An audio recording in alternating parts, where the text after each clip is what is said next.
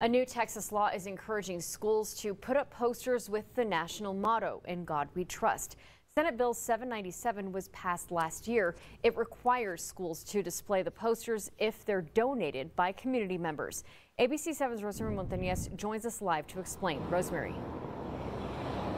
That's right, Stephanie. I reached out to all of the school districts here in the El Paso region, and the ones that got back to me told me they have not received the donations and therefore don't have the posters displayed inside of their buildings.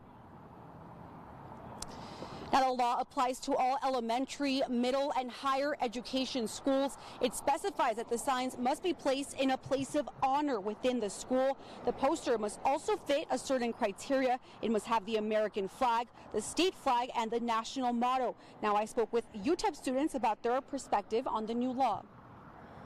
think nothing of it because I'm not Christian myself, but like I would think like, oh my God, like what uh, what about the other people that believe in other things? Like, would they get offended? Like, shouldn't they also put their own God? Um, indifferent of showing religion in classrooms and stuff like that. Um, but I think as long as teachers aren't pushing it on people, I don't personally see a problem with it.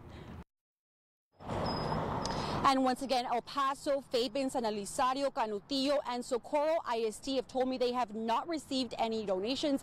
But coming up on ABC 7 at Speak at 6, we speak with more UTEP students, and them are they are all weighing in on this new law. I'm reporting live in West El Paso, Rosemary Montañez, ABC 7.